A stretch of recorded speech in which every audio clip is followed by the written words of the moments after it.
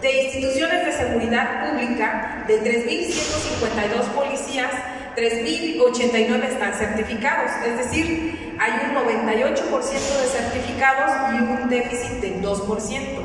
¿Dónde tenemos los retos, los retos los oaxaqueños y oaxaqueñas? En la Policía Municipal. De 12.674 eh, policías, solo 1.764 son certificados.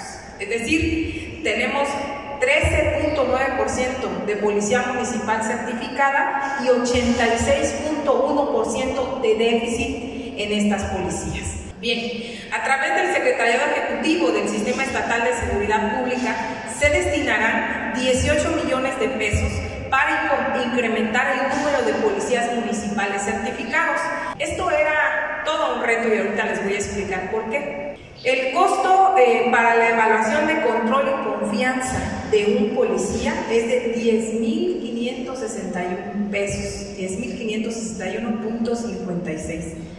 Este, eh, una vez que pasaron la evaluación de control y confianza, avanzan al curso de formación inicial para policía preventiva municipal y ese costo tiene para ser un aspirante nuevo un costo de 23.092 pesos y si es un activo, es un personal activo que solo va a volver a refrendar su capacitación, son 486 horas y el costo es de 10.682 pesos.